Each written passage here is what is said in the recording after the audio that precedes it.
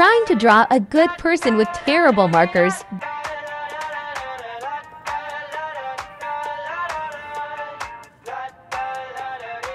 I can't do IT, y'all.